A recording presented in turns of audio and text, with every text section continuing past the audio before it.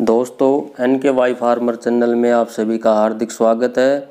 किसान भाइयों, पिछले कई दिनों से गेहूँ की खरीद को लेकर किसानों की चिंता का कारण बनी हुई थी।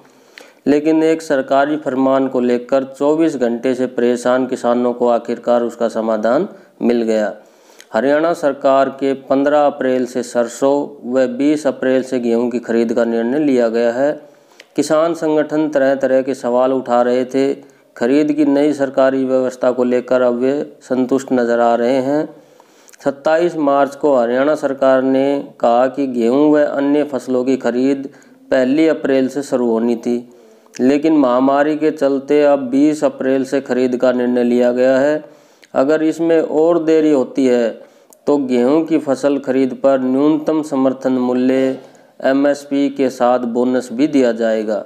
मंडियाँ 20 अप्रैल से 5 मई तक उन्नीस रुपये प्रति क्विंटल के हिसाब से गेहूँ की खरीद करेगी। 6 मई से 31 मई तक उन्नीस रुपये प्रति क्विंटल व 1 जून से 30 जून तक दो हज़ार पचास रुपये के हिसाब से गेहूँ की खरीद करेगी। इसके अलावा पंजाब और आसपास से कम्बाइन हार्वेस्टर दूसरी ज़रूरी मशीनों के आवागमन तथा खेतों में कटाई से किसानों को नहीं रोका जाएगा, संबंधी आदेश जारी कर दिए गए हैं।